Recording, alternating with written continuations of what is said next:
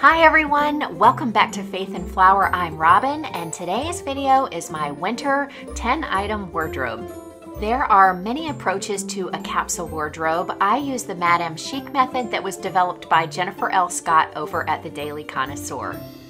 Basically, the 10 item wardrobe refers to the core items that you have in your wardrobe.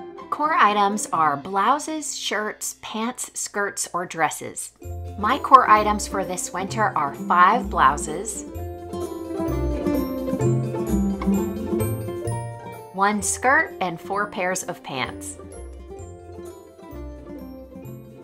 Consider those the building blocks of your wardrobe, and all other items are considered extras like t shirts, sweaters, even your accessories like shoes and scarves and things like that that add variation to your wardrobe, all of those are extras. So don't get caught up on the number 10. That's just a basic guideline to help you minimize your wardrobe and just have the things in there that you really love, that reflect your personal style, and that you will wear on a daily basis. The first two core pieces are the silk blouse from Lily Silk and these jeans from Mott and Bow. The blouse has been in my wardrobe for well over a year. This is the second winter that I'm wearing it, and the jeans are new. The slim boyfriend jeans are my favorite from Mott and Bow. This is the second pair. You'll see another one later in the video in a different wash, but their denim is top notch. It lasts such a long time. It's such high quality, and my older pair still look new, so I'm happy to have both of them in my wardrobe this season. This Lily Silk blouse is another high quality piece and I love having these sorts of things in my wardrobe. It is so comfortable and so beautiful and I actually have worn it most layered under some sweaters that I have. Like this one from J. Jill, this open stitch sweater is technically a summer sweater, but it's quite warm with a silk blouse underneath because silk can be very insulating and so it keeps you warm in the wintertime and it also keeps you cool when the weather's warm. I like how the three quarter length sleeves of the sweater expose the sleeves of the blouse, and I think that this pale pink color and the beige look so pretty together. I also love wearing it under this cream colored cashmere sweater from Mott & Bow. They make the best cashmere sweaters. I have three in my wardrobe and I highly recommend them as well. One of the biggest benefits of having a 10 item wardrobe that I've enjoyed is opting for quality over quantity. So I'm able to add these really high quality pieces to my wardrobe because I'm going to use them again and again season after season. That said, high quality doesn't always mean you have to pay more or it has to be expensive. For example, this blouse from Loft I got about three or four years ago. It has held up great and I love it.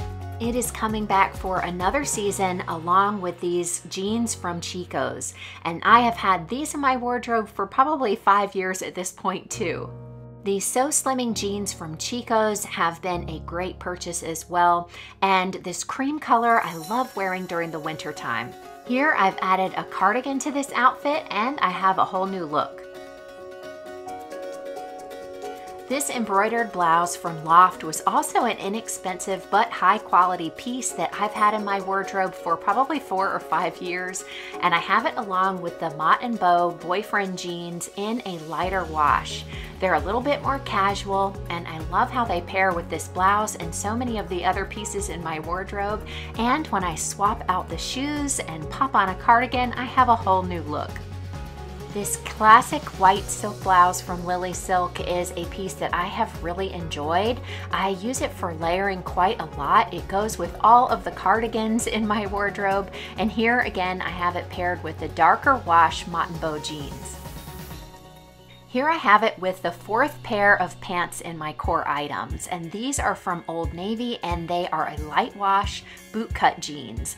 And I like having this super casual style in my wardrobe. I've gone a little bit more casual this season. I've got it paired with my cowgirl boots and a belt. This sweater that I have had from the loft for several seasons is a great piece to have as well. Again, it's inexpensive but high quality and it has stood the test of time.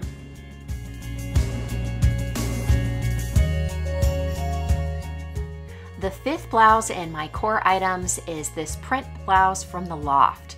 Again, it was an inexpensive purchase, but has lasted. I think this is about the third season I've had it in my winter wardrobe.